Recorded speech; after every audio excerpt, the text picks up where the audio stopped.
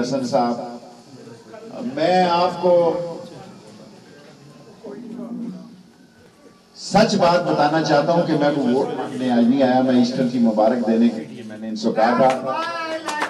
اور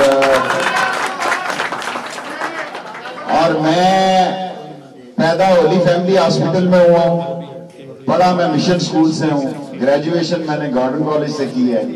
سو میں مسیحوں کے کلچر اور مزاج اور معاملات سے بخوبی آگاہ ابھی جیمز اللہ دیتا صاحب اور بلو صاحب کہہ رہے تھے، ایک ہو جائے دنیا میں کوئی ایک نہیں ہوتا۔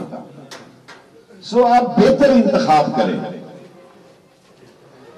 اور میں آپ کو یقین دلاتا ہوں کہ میں بھی بات کروں گا۔ مجھے مجھے احساس ہے، آپ کیا سمجھتے ہیں کہ مجھے احساس نہیں ہے؟ دیکھیں، اس ملک میں ترقی کی راستے جتنے بھی کھلتے ہیں، وہ بےمان لوگوں کے لیے کھلتے ہیں۔ ترقی وہ پاتا ہے جو دو نمبر کا آدمی ہوتا ہے۔ پاکستان میں جب حکمران ہی چور اور ڈاکو ہوں گے، تو نیچے آپ لوگوں کو کیا ملے گا؟ کوئی اسپتال نہیں ملے گا، کوئی پانی نہیں ملے گا، کوئی آپ کو نوکری نہیں ملے گی۔ یہ سارے دیکھیں، یہ پانچ سال بعد ہم آئیں گے ووٹوں کے لیے، آپ کا دل بہلائیں گے اور چلے جائیں گے۔ میں بلیو می میں ووٹ میں نے بلو کو کل کہا کہ یار ایسٹر کی مبارکباد دینے ورنہ میں یہاں آپ سے، آپ کی بجائے سیدھا چرچ پہ جاتا اگر مجھے ٹائمنگ پتا ہوتی کہ شام کو ہے۔ اس ہم نے بالکل آپ یقین رکھیں کہ پریچنگ ٹیچنگ اور ہیلنگ جو مسیح یسوع کا پیغام تھا، اس میں ہم نے اس ملک میں اپنی کانسٹیچوئنسی میں کالجز اور سکولوں میں کافی خدمت کی ہے۔ اس ایک ہاسپٹل ہم بنا رہے تھے، ماں اور بچے کا، وہ نہیں بن سکا۔ آپ دیکھیں نا حکومتیں ایسی ہیں کہ نہ میرا بچہ ہے، نہ میری ماں ہے، نہ میری اولاد ہے، نہ کوئی مجھے اس کے باوجود، اس کے باوجود وہ انہوں نے اس لیے نہیں بنایا کہ لوگوں نے مجھے ووٹیں دی سو میں تحریک انصاف سے مل کر اگر خداوند کو منظور ہوا تو یہاں سے امیدوار بنوں گا۔ ابھی میں ووٹ مانگنے نہیں آیا آپ سے۔ آپ کو ایسٹر کی مبارکباد دینے آیا ہوں۔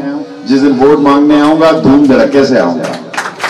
اور، زبردست طریقے سے آؤں گا۔ پھر سب لوگوں کو میں ایسٹر کی مبارکباد دیتا ہوں۔ عید کی، عید مسیح کی میں مبارکباد دیتا ہوں۔ اور میں آپ کو یقین دلاتا ہوں، ایک آیت میں ہمیشہ پڑھا کرتا ہوں کہ مانگو گے تو پاؤ گے کھٹکھٹاؤ گے تو کھولا جائے گا۔ ڈھونڈو گے تو پاؤ گے ڈھونڈو گے تو پاؤ گے کھٹکھٹاؤ گے تو تمہارے لیے کھولا جائے گا۔ میری زندگی کی اسکول لائف سے سب سے پسندیدہ آیت یہ ہے۔ اور یہ میں مسلمانوں کے جلسے میں بھی پڑھتا ہوں۔ اور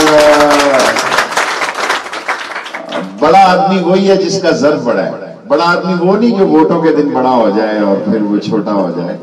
سو آپ یقین جانیں، یہ بلو نے اتنا بڑا فنکشن کر دیا، میں اس کا مشکور ہوں۔